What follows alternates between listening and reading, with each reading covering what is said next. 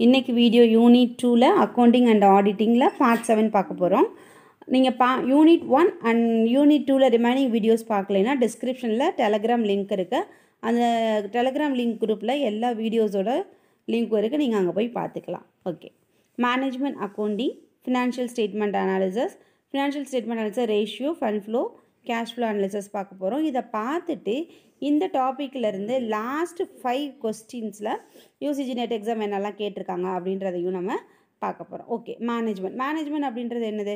Management அப்படின்றது ஒரு organisation அல்லது ஒரு பிஸ்னஸ் நடக்கிற ஒரு கம்பெனிஸில் எப்படி அவங்க ஆக்டிவிட்டிஸ் எல்லாம் மேனேஜ் பண்ணுறாங்க அதோட ப்ராசஸ் என்ன அப்படின்றத மேனேஜ் பண்ணுறது நம்ம மேனேஜ்மெண்ட் அப்படின்னு சொல்கிறோம் அக்கௌண்டிங் அப்படின்றது என்னது? புக் கீப்பிங் ஃபினான்ஷியல் இன்ஃபர்மேஷன்ஸ் எல்லாத்தையும் புக் கீப் பண்ணுறது தான் அக்கௌண்டிங் மேனேஜ்மெண்ட் அக்கௌண்டிங் அப்படின்றது என்னது? ஒரு ஃபினான்ஷியல் ஒரு மேனேஜ்மெண்ட்டில் என்ன மாதிரியான ஃபினான்ஷியல் இன்ஃபர்மேஷன்ஸ்லாம் இருக்குது அந்த ஃபினான்ஷியல் இன்ஃபர்மேஷன் மூலமாக என்ன மாதிரியான டிசிஷன் மேக் பண்ணலாம்? அப்படின்னு சொல்லிட்டு மேனேஜரிக்கல் டிசிஷனுக்கு அக்கௌண்ட்ஸ் என்ன மாதிரி யூஸ் ஆகுது அப்படின்றது தான் நம்ம மேனேஜ்மெண்ட் அக்கௌண்டிங் அப்படின்னு சொல்கிறோம் ஒரு கம்பெனியோட இன்ஃபர்மேஷன்ஸ் அந்த அதாவது அதில் உள்ள ப்ராஃபிட்ஸ் என்ன லாஸ் என்ன என்னெல்லாம் அனலைஸ் பண்ணி என்ன டிசிஷன் எடுக்கலாம்? ப்ராஃபிட் க்ரோத்துக்கு என்ன டிசிஷன் எடுக்கலாம்? சேல்ஸ் எப்படி இருக்குது டெப்டாஸ் எப்படி இருக்குது டேர்ன் ஓவர் எப்படி இருக்குது அப்படின்னு சொல்லி ஒவ்வொரு ஈச் அண்ட் எவ்ரி எலமெண்ட்ஸையும் அனலைஸ் பண்ணுறதுக்காக அதாவது ஒரு டிசிஷன் மேக்கிங்க்காக யூஸ் பண்ணுற அக்கௌண்ட் தான் management accounting management accounting nineteen ஃபிஃப்டியில் Anglo American council on product productivity அப்படின்றதுல தான் ஃபஸ்ட்டு என்ன பண்ணாங்க? யூஎஸ்ஏல மேனேஜ்மெண்ட் அக்கௌண்டிங் கொண்டு வந்தாங்க. Then the American accounting association triple A என்ன டிஃபைன் பண்ணுறாங்க மேனேஜ்மெண்ட் அக்கௌண்டிங் அப்படின்னா the methods and concepts necessary for effective planning for choosing among alternative business action and for control through the evaluation and interpretation of performance அப்படின்னு சொல்லிட்டு triple A define பண்ணுறாங்க management அக்கௌண்டிங்க்கு நம்ம இந்தியாவில் Institute of Chartered Accountants of India என்ன define பண்ணுறாங்க அப்படின்னா such of its techniques and procedure by which accounting mainly six to eight the management collectively has come to be known as management அக்கௌண்டிங்னு சொல்லிட்டு இந்தியாவில் Institute of Chartered Accountants management அக்கௌண்டிங்க்கு definition கொடுத்துருக்காங்க. On the whole இந்த டெஃபினேஷன்லேருந்து நமக்கு என்ன தெரியுது அப்படின்னா management accounting அப்படின்றது ஃபினான்ஷியல் டேட்டாஸை ரெக்கார்ட் பண்ணி அனலைஸ் பண்ணி மேனேஜ்மெண்ட்டுக்கு ஒரு டிசிஷன் மேக்கிங்க்கு பிளானிங்க்கு ஒரு ராங் ரன்னிங் பிஸ்னஸ் ஆப்ரேஷன்ஸ்க்கு என்ன மாதிரியான டிசிஷன்ஸ்லாம் எடுக்கலாம் அப்படின்றதுக்கு யூஸ்ஃபுல்லாக இருக்கிறது தான் மேனேஜ்மெண்ட் அக்கௌண்டிங் மேனேஜ்மெண்ட் அக்கௌண்டிங் வந்து ஒரு மேண்டேட்ரி கிடையாது. நம்ம கண்டிப்பாக மேனேஜ்மெண்ட் அக்கௌண்டிங் ஃபாலோ பண்ணணும் அப்படின்னு சொல்லி ஒரு எந்த இதுவும் கிடையாது. ஆனால் என்ன பண்ணுறோம் ஒரு ஸ்பெசிஃபிக் சிஸ்டம் மேனேஜ்மெண்ட் அக்கௌண்டிங்க்கு இருந்தால் நல்லாயிருக்கும் அப்படின்னு சொல்லிட்டு மேனேஜ்மெண்ட் அக்கௌண்டிங்கை ஒரு ஆர்கனைசேஷன் கோல் ஹோல் அச்சீவ் பண்ணுறதுக்காக நம்ம எக்கனாமிக் இன்ஃபர்மேஷனை கலெக்ட் பண்ணி மேனேஜ்மெண்ட் அக்கௌண்டிங் கால்குலேட் பண்ணுறோம் நெக்ஸ்ட் ஃபினான்ஷியல் ஸ்டேட்மெண்ட் ஃபினான்ஷியல் ஸ்டேட்மெண்ட்னா என்ன? ஆல்ரெடி நமக்கு தெரியும். பிஸ்னஸில் நடக்கிற எல்லா டிரான்சாக்ஷனையும் நம்ம ஒரு ஸ்டேட்மெண்ட்டாக ப்ரிப்பேர் பண்ணி ஒரு கம்பெனியோட ஃபினான்ஷியல் பொசிஷன் என்ன அப்படின்னு சொல்லி ஃபைன் பண்ணுறதுக்கு யூஸ் ஆகிறது தான் ஃபினான்ஷியல் ஸ்டேட்மெண்ட் ஒரு ஃபினான்ஷியல் ஸ்டேட்மெண்ட் மூலமாக ஒரு கம்பெனியோட அசட்ஸ் என்ன லயபிலிட்டி என்ன அவங்களோட கேபிட்டல் எவ்வளவு ப்ராஃபிட் எவ்வளவு ஷேர் கேபிட்டல் எவ்வளவு அவங்க ஓன் கேபிட்டல் எவ்வளவு டிபஞ்சர்ஸ் எவ்வளோன்னு சொல்லிட்டு நம்ம ஈஸியாக ஃபைன் பண்ண முடியும். அப்போ ஃபினான்ஷியல் ஸ்டேட்மெண்ட் என்னால் இன்க்ளூட் ஆகிருக்கும் balance sheet PNL cash flow and notes of accounts எல்லாமே ஃபினான்ஷியல் ஸ்டேட்மெண்ட்டில் இருக்கும். அப்போ ஃபினான்ஷியல் ஸ்டேட்மெண்ட் அனாலிசிஸ் மேனேஜ்மெண்ட் அக்கௌண்டிங்னாலே அனாலிசிஸ் தான். ஃபினான்ஷியல் ஸ்டேட்மெண்ட் அனாலிசிஸ் என்ன பண்ணுவோம்? ஒரு டெசிஷன் மேக் பண்ணுறதுக்காக ஃபினான்ஷியல் ஸ்டேட்மெண்ட்டில் இருக்கிற ஒவ்வொரு டிரான்சாக்ஷன் அதாவது ஒவ்வொரு எலமெண்ட்ஸையும் அதோட ப்ராசஸை அந்த கம்பெனியில் அனலைஸ் பண்ணுறது தான் ஃபினான்ஷியல் ஸ்டேட்மெண்ட் அனாலிசிஸ் அப்படின்னு சொல்கிறோம் இந்த அனாலிசிஸ் எதுக்கெல்லாம் யூஸ்ஃபுல்லாக இருக்குது அப்படின்னா financial statement like investor share share holders bank company management இவங்க எல்லாருக்குமேவும் இந்த ஸ்டேட்மெண்ட் அனாலிசிஸ் யூஸ்ஃபுல்லாக இருக்கும். இதோட பர்பஸ் என்ன அப்படின்னா ஒவ்வொரு கம்பெனிலையும் டிஃப்ரெண்ட் பர்பஸ் இருக்கும். Uh, ஒவ்வொரு டிஃப்ரெண்ட் பார்ட்டிஸ் அந்த வாட் கைண்ட் ஆஃப் பிஸ்னஸ் அப்படின்ற மாதிரி அவங்களோட பர்பஸ் வந்து சேஞ்ச் ஆகிட்டே இருக்கும். தென் ஃபினான்ஷியல் ஸ்டேட்மெண்ட் அனாலிசிஸில் த்ரீ டைப்ஸ் ஆஃப் அனாலிசிஸ் இருக்குது ratio analysis fund flow analysis cash flow analysis ratio analysis ratio analysis அப்படின்றது என்னது? ஒரு இன்டர் ரிலேட்டடான டூ வேரியபிள்ஸ் அதாவது மேத்தமெட்டிக்கல் வேரியபிள்ஸில் இன்டர் ரிலேட்டடாக இருக்க டூ மேத்தமெட்டிக்கல் வேரியபிள்ஸ்க்குரிய ரிலேஷன்ஷிப் என்ன அப்படின்னு சொல்லி நம்ம ப ஃபைன் பண்ணுறது தான் ரேஷியோ அனாலிசஸ் அதோட குவான்டிடேட்டிவ் ஃபார்மை நம்ம என்ன பண்ணுறோம் ரேஷியோ அனாலிசஸ் மூலமாக அனலைஸ் பண்ணுறோம் பேட்டி ரேஷியோ அப்படின்றவங்க ரேஷியோக்கு பேட்டி அப்படின்றவங்க ரேஷியோக்கு என்ன மாதிரியான டெஃபினேஷன் கொடுத்துருக்காங்க அப்படின்னா the term accounting ratio is used to describe significant relationship which exist between figures known in balance sheet and profit and loss account in a budgetary control system or any other part of the accounting management சொல்லிட்டு ரேஷியோவுக்கு பேட்டி அப்படின்றவங்க definition கொடுத்துருக்காங்க. அப்போ ஒரு கம்பெனியில் உள்ள financial ஸ்டேட்மெண்ட்டில் இருக்கிற இன்டர் ரிலேட்டடான டூ மேத்தமெட்டிக்கல் வேரியபிள்ஸ்க்குரிய ரிலேஷன்ஷிப் என்ன அப்படின்னு சொல்லிட்டு ஃபைன் பண்ணுறது தான் ratio analysis ratio analysis four டைப்ஸாக இருக்குது liquidity ratio leverage ratio activity ratio profitability ratio liquidity ratio அப்படின்றது என்னென்னா ஒரு கம்பெனியோட கரண்ட் அதாவது ஒன் இயர்க்குள்ளே இருக்கிற ஆப்ளிகேஷன்ஸையும் எக்ஸ்பென்சஸையும் meet பண்ணுறதுக்குரிய current and assets and liabilities இதுக்குள்ளே உள்ள ரேஷியோஸ் ஃபைன் பண்ணுறது தான் லிக்விடிட்டி ரேஷியோ லிவரேஜ் ரேஷியோ அப்படின்றது என்னென்னா அந்த கம்பெனியோட அசட்ஸ்லாம் எப்படி இருக்குது அந்த அசட்ஸில் உள்ள ஈக்விட்டிஸ் டெப்ட்டு அந்த ஃபேர்மில் இருக்க ஃபினான்சிங் பொசிஷன் இதெல்லாம் ஃபைன் பண்ணுறது தான் லிவரேஜ் ரேஷியோ ஆக்டிவிட்டி ரேஷியோ அப்படின்றது என்னென்னா அந்த அசட்ஸை எப்படியெல்லாம் யூட்டிலைஸ் பண்ணியிருக்காங்க எல் எந்த ரேஷியோஸில் அசட் யூட்டிலைஸ் ஆகிருக்கு அப்படின்னு சைன் ஃபைன் பண்ணுறது தான் ஆக்டிவிட்டி ரேஷியோ ப்ராஃபிட்டபிலிட்டி ரேஷியோ அப்படின்றது என்னென்னா ஒரு கம்பெனியோட பெர்ஃபார்மன்ஸ் எப்படி இருக்குது அவங்களோட ப்ராஃபிட்டபிலிட்டிக்காக என்னெல்லாம் அந்த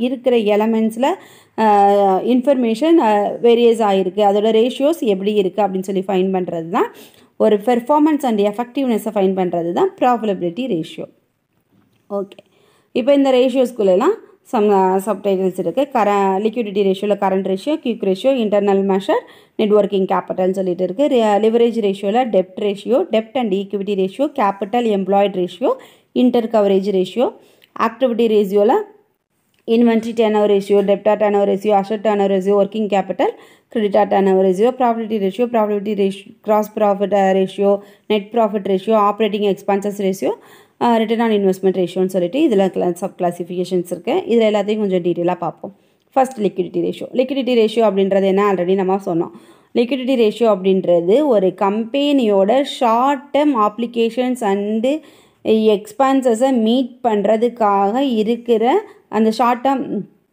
கரண்ட் அமௌண்ட் இருக்கு இல்லையா? அதுக்குள்ளே ரேஷியோஸ் என்ன மாதிரி டிஃபர் ஆகிருக்கு அப்படின்னு ஃபைன் பண்ணுறது தான் இல்லை லிக்விடிட்டி ரேஷியோ லிக்விடிட்டி ரேஷியோவில் வந்து நம்ம அவங்க ஒர்க்கிங் கேபிட்டல் கரண்ட் இயரில் எவ்வளவு இருக்குது கரண்ட் அசட்ஸில் என்ன மாதிரியான நம்ம க்யூக்காக ஒரு அமௌண்ட்டை கேஷ் ரெட்ரீவ் பண்ணுறதுக்குரிய ரேஷியோஸ்லாம் இருக்குது அப்படின்னு சொல்லிட்டு நம்ம லிக்விடிட்டி ரேஷியோவில் பார்ப்போம். Okay first current ratio current ratio அப்படின்றது the current ratio is measure of the firm short term solvency it indicates the availability of current assets of rupees of current liability current அசட்ஸ்க்கும் current லயபிலிட்டிக்கும் உள்ள ratios எவ்வளவு? ரெண்டுத்துக்கும் உள்ள difference எவ்வளவு இருக்குது current இயரில் க அந்த கரண்ட் இயர் அந்த டூரிங் த அக்கௌண்டிங் பீரியடில் அதாவது ஒரு வருஷத்தில் அசட்ஸ்க்கும் லயபிலிட்டிஸ்க்கும் அதாவது கரண்ட் அசட்ஸ்க்கும் கரண்ட் லயபிலிட்டிஸ்க்கும் உள்ள டிஃப்ரென்ஸை தான் கரண்ட் ரேஷியோ அப்படின்னு சொல்கிறோம் அது வந்து current assets divided current liability தான் current ratio fine பண்ணுறதுக்குரிய formula then quick ratio quick ratio என்ன பண்ணுவாங்க? இன்வென்ட்ரி அதாவது ஸ்டாக்ஸை மாத்திரம் கரண்ட் அசன்ஸில் லெஸ் பண்ணிட்டோம் அப்படின்னா கியூக் ரேஷியோ ஈஸியாக கன்வெர்ட்டாக மணியாக கன்வெர்ட் ஆகுறதுக்குரிய அசட்ஸ் நம்மகிட்ட என்ன இருக்குது அப்படின்னு சொல்லி ஃபைன் பண்ணுறது தான் கியூக் ரேஷியோ அதுக்குரிய ஃபார்முலா கரண்ட் அசட்லேருந்து இன்வென்ட்ரிஸ் மட்டும் ஸ்டாக்கை மட்டும் லெஸ் பண்ணிவிட்டு கரண்ட் லயபிலிட்டிஸ் போட்டோம்னா கியூக் ரேஷியோக்குரிய ஃபார்முலா கிடச்சிரும். Next leverage ratio leverage ratio பார்த்தோம் ஏற்கனவே. அதாவது ஒரு கம்பெனியோட ஆசட்டில் என்னெல்லாம் சேஞ்சஸ் இருக்குது அப்படின்னு சொல்லி தான் பார்க்குறதுல லிவரேஜ் ரேஷியோ அதாவது long term creditors டிபஞ்சஸ் holders financial institutions credit sorry கிரெடிட்டாஸ்க்குரிய interest அதெல்லாம் லாங் டேர்மாக என்னெல்லாம் இருக்குது அப்படின்னு சொல்லி ஃபைன் பண்ணுறதுக்கு இந்த லிவரேஜ் ரேஷியோ நம்ம யூஸ் பண்ணுறோம் ஃபஸ்ட்டு டெப்ட் ரேஷியோ டெப்ட் ரேஷியோவில் வந்து டோட்டல் டெப்ட் டிவைடட் டோட்டல் டெப்ட் ப்ளஸ் நெட்ஒர்த் டேக்ஸ் டிடக்ஷனுக்கு அப்புறமா என்ன இருக்குது அப்படின்னு சொல்லி ஃபைன் இந்த ஃபார்மில் அப்ளை பண்ணி டெப்ட் ரேஷியோ நம்ம ஃபைன் பண்ணலாம். டெப்ட் ஈக்விட்டி ரேஷியோ டெப்ட் ஈக்விட்டி ரேஷியோ ஃபார்மில் total dept divided net worth next capital employed to net worth ratio capital employee நம்மகிட்ட இருக்க எம்ப்ளாய்டோட ரேஷியோஸை ஃபைன் பண்ணுறது தான் இது. Capital employed divided net worth தென் ஆக்டிவிட்டி ரேஷியோ ஆக்டிவிட்டி ரேஷியோவில் inventory turnover ratio டெப்டா turn over ratio inventory turn over ரேஷியோவில் cost of good soul divided average inventory நம்ம inventory வந்து எவ்வளோ சோல்டாக இருக்குது எவ்வளோ அதோட ஆவரேஜ் என்ன அப்படின்னு சொல்லி ஃபைன் பண்ணுறதுக்கு தான் இந்த ஆக்டிவிட்டி ரேஷியோவில் இன்வென்ட்ரி டர்ன் ஓவர் ரேஷியோ ஃபார்மில் யூஸ் பண்ணுறோம் டெப்டா டர்ன் ஓவர் ரேஷியோவில் நம்மளோட டெப்ட் லெவலை தெரிஞ்சுக்கிறதுக்காக பார்க்குறோம். அதில் credit sales divided average debtors அப்போ நம்மளோட ஒரிஜினல் அமௌண்ட் எவ்வளோ அப்படின்னு சொல்லிட்டு இந்த ரேஷியோ மூலமாக நம்ம ஃபைன் பண்ண முடியும்.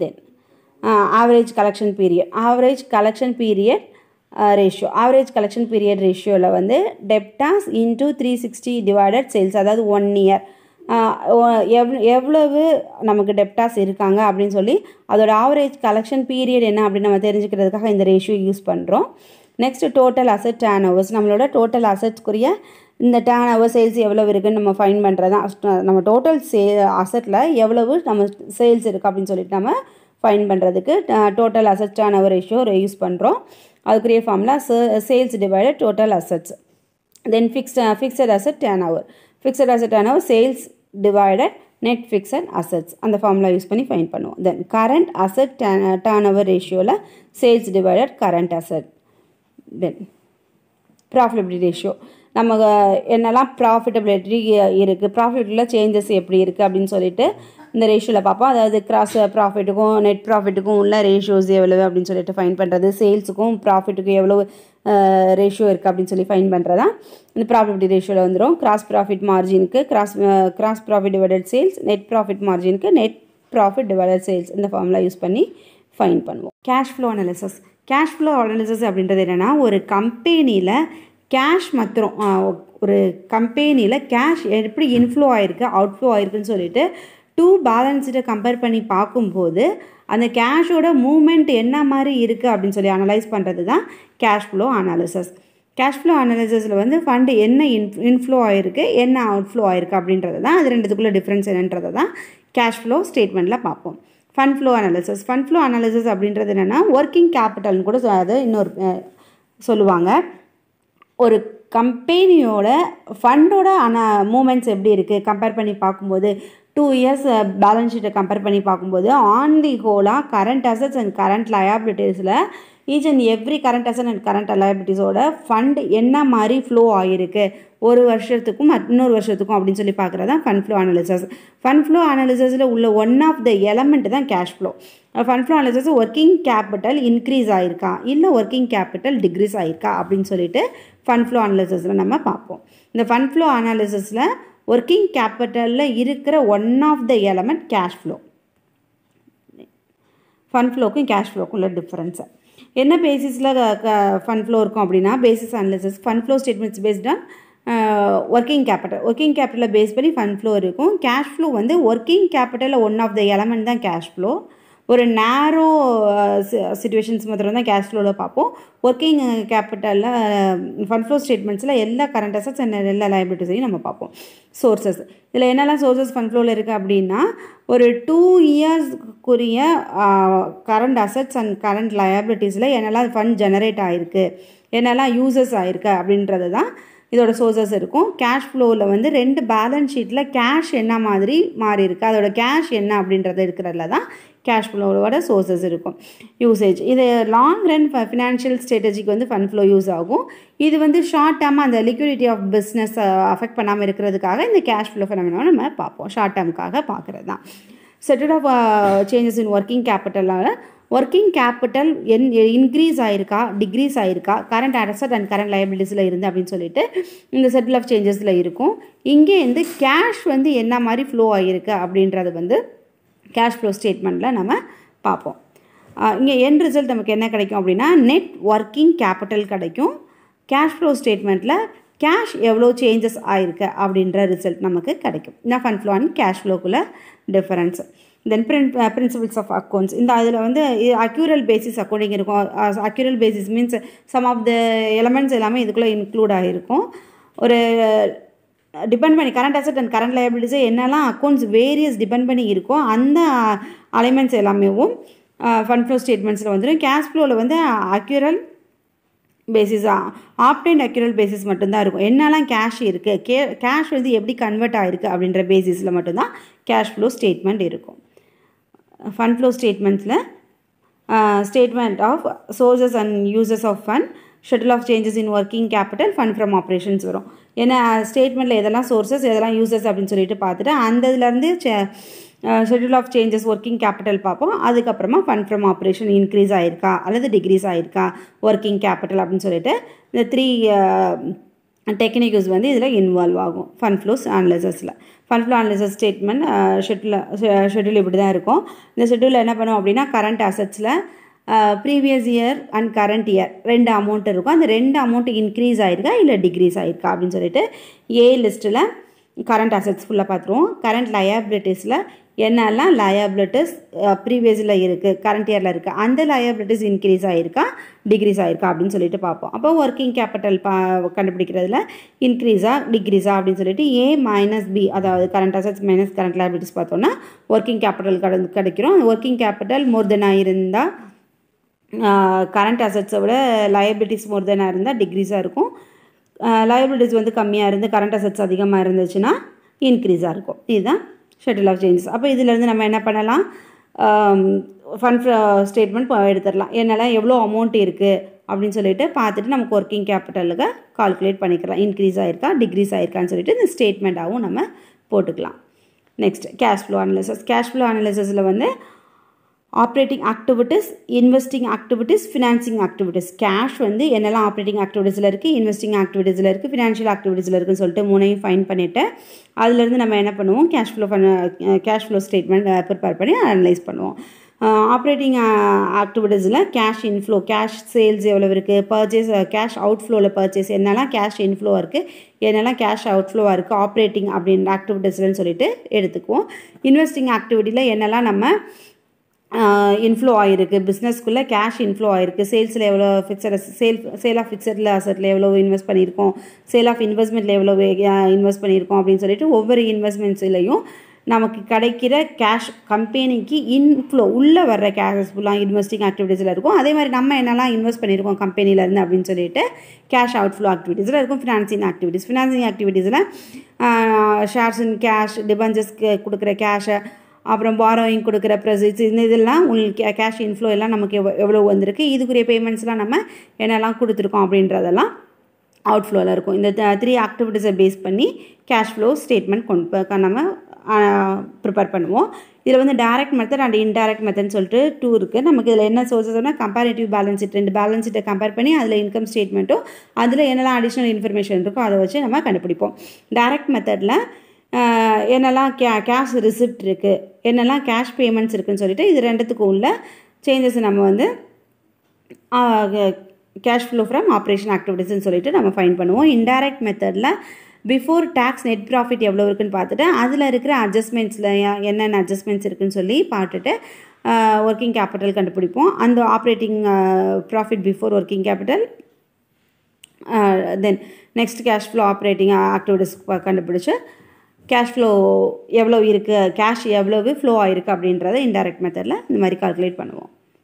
ஓகே கேஷ் ஃப்ரம் ஸ்டேட்மெண்ட் வந்து இப்படி தான் இருக்கும் operating activities investing activities financial activities அப்போ நம்ம கொடுக்குற ப்ராப்ளம்ஸில் எதெல்லாம் ஆப்ரேட்டிங் எதெல்லாம் இன்வெஸ்டிங் எதெல்லாம் ஃபினான்சிங் சொல்லிட்டு நம்ம uh, ஒவ்வொரு டிரான்சாக்ஷனும் தெரிஞ்சால் தான் நம்ம என்ன பண்ண முடியும்? இதை கரெக்டாக ப்ளேஸ் பண்ண முடியும். ப்ளேஸ் பண்ணி அந்த கேஷ் இன்க்ரீஸ் ஆகிருக்கா டிக்ரீஸ் ஆகிருக்கா பிகினிங் பீரியட் எவ்வளோ இருந்தது? எண்ட் ஆஃப் தி பீரியட் எவ்வளோ இருக்குன்னு சொல்லிட்டு நம்ம கேஷ் ஃப்ளோ ஸ்டேட்மெண்ட்டில் ஃபைன் பண்ணுவோம். இதான் கேஷ் ஃப்ளோக்குரிய ஃபார்மேட் இந்த டாப்பிக்லேருந்து என்னெல்லாம் கொஷின் கேட்டிருக்காங்க அப்படின்னு சொல்லிட்டு இப்போ பார்க்க போகிறோம் first question if activity ratio of a firm eighty percentage and capacity ratio is one twenty percentage find out its efficiency ரேஷியோன்னு சொல்லி கொடுத்துருக்காங்க. எப்பயுமே நம்ம என்ன பண்ணுவோம்? ஆக்டிவிட்டி ரேஷியோவில் capacity ratio into efficiency multiple பண்ணோன்னா நமக்கு ஆக்டிவிட்டி ரேஷியோ கிடச்சிரும். இங்கே நமக்கு கொடுத்துருக்கிறது என்னது?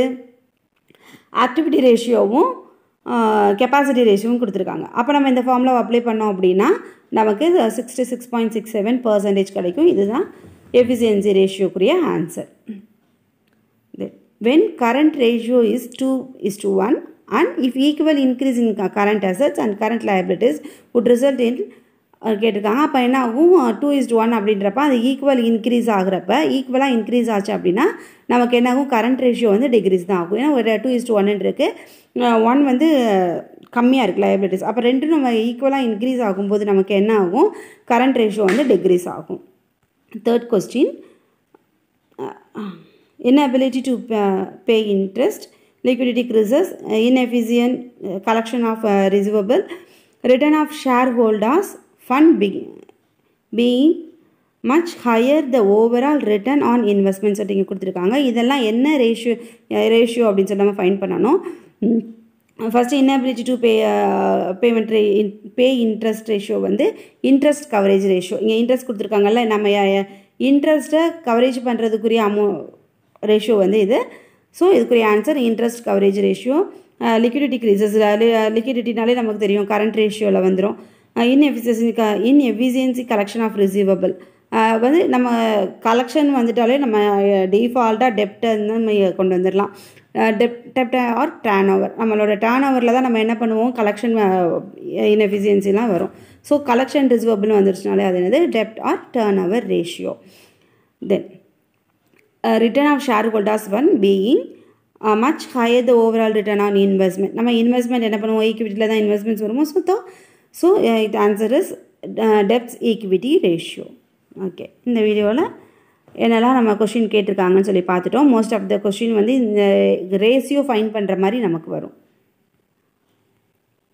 நெக்ஸ்ட் வீடியோவில் budget and budgetary control types of budget பார்த்துட்டு பிரேக் இவன் அனாலிசிஸ் அப்புறம் இந்த டாப்பிக்லேருந்து என்னெல்லாம் கொஸ்டின் கேட்டிருக்காங்கன்னு பார்க்குறோம். இதோட செகண்ட் யூனிட் முடிஞ்சிடும் இந்த ஒரு லாஸ்ட் வீடியோ பார்த்துட்டோம் அப்படின்னா செகண்ட் யூனிட் முடிஞ்சிடும் அடுத்து நம்ம தேர்ட் யூனிட் போயிருக்கலாம். தேங்க்யூ ஃபார் வாட்சிங்